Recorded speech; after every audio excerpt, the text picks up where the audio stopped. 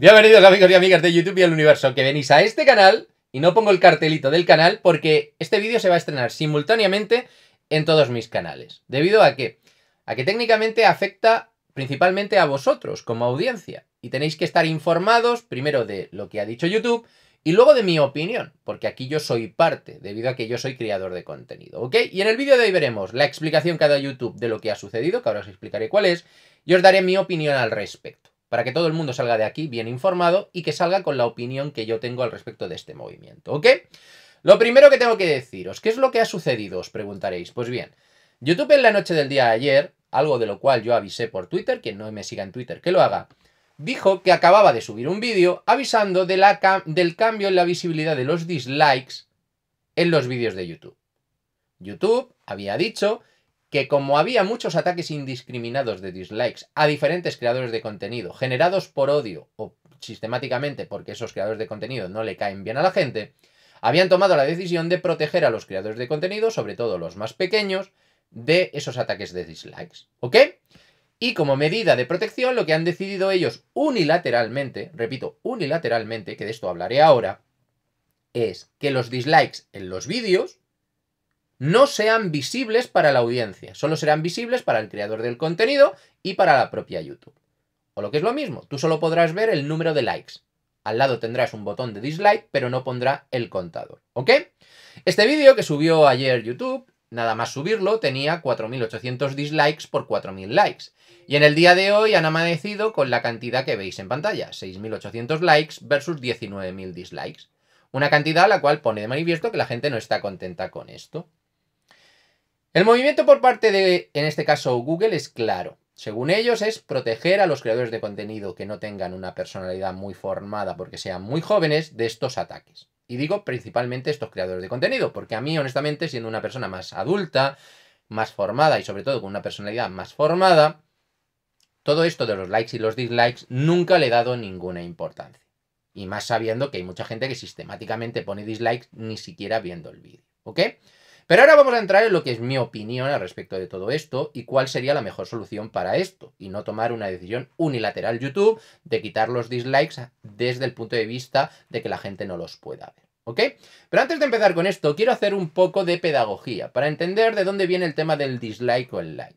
Esto del dislike o el like lo puso de moda Facebook, ¿de acuerdo? Con el like dentro de sus publicaciones.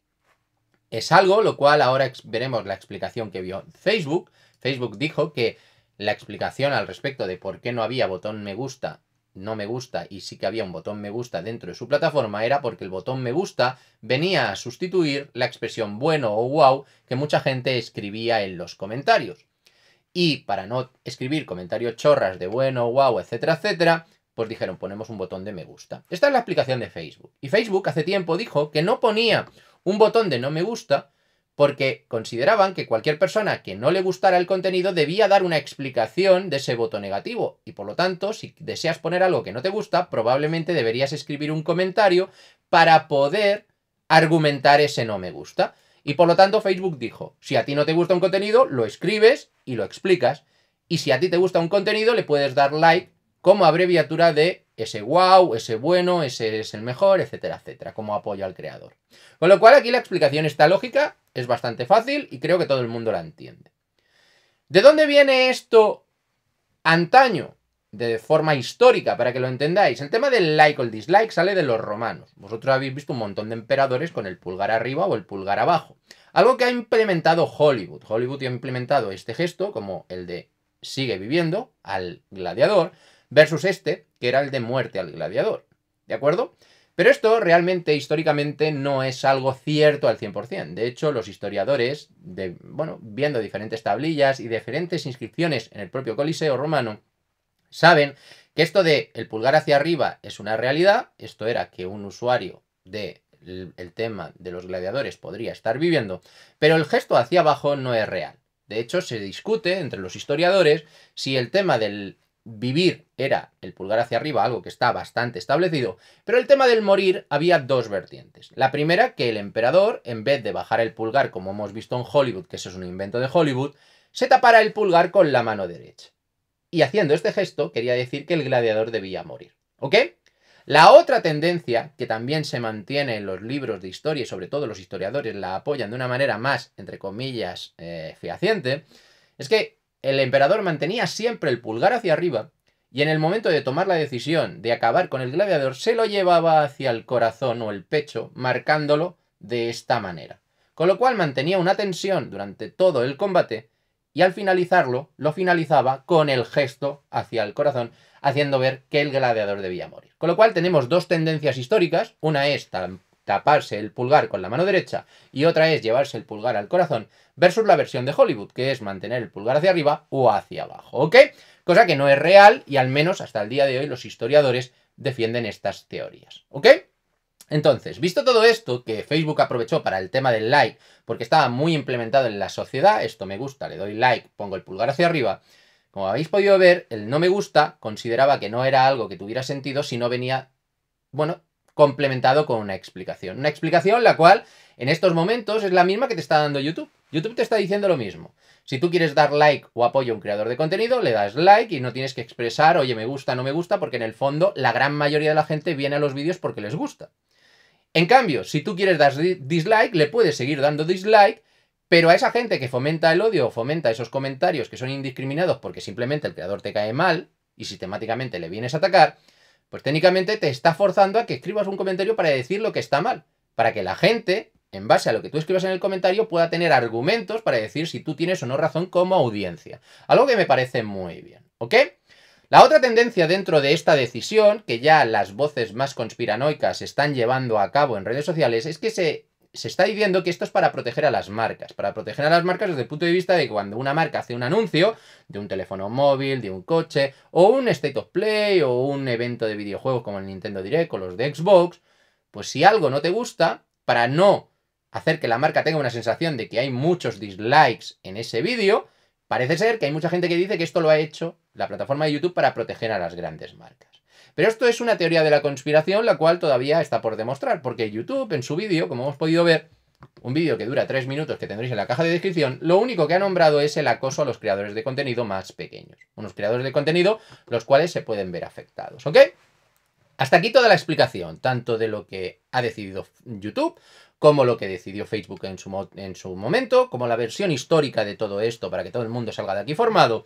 Y ahora va mi opinión al respecto de todo esto. Mi opinión al respecto de todo esto es que realmente YouTube no debería tomar esta decisión unilateralmente. Me explico. Yo creo que YouTube tendría que dar la opción a los creadores de contenido, entre los cuales yo me incluyo, a decidir si queremos que los dislikes no se vean.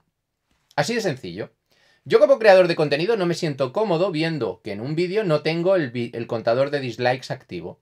Porque me da la sensación de cierta censura desde el punto de vista de la opinión de gente, la cual habrá mucha que no tenga razón y venga por atacar, pero habrá gente que no le guste el contenido y le dé a dislike. Y por lo tanto yo creo que puede ser una ayuda desde el punto de vista de los vídeos del común de la comunidad.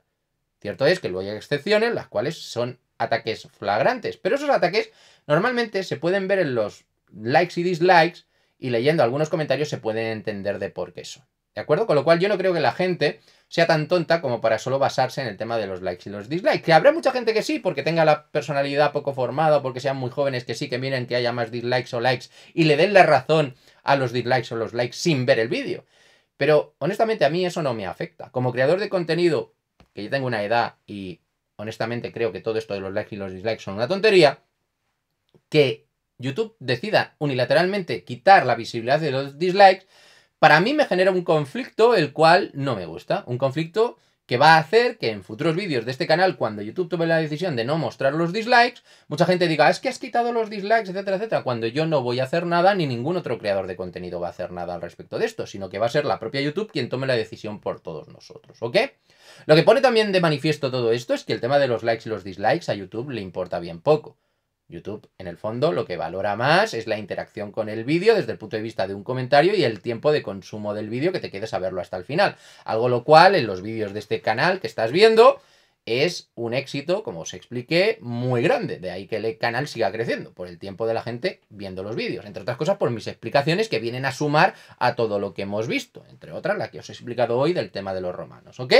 Entonces, como los que venís aquí, dentro de un tiempo veréis que los dislikes desaparecen por la decisión unánime de YouTube, que sepáis que yo no estoy de acuerdo. Yo querría tomar la decisión por mí mismo. Yo ya soy suficientemente mayor como para entender cuál es la situación de las redes sociales donde hay haters y fans en todos lados.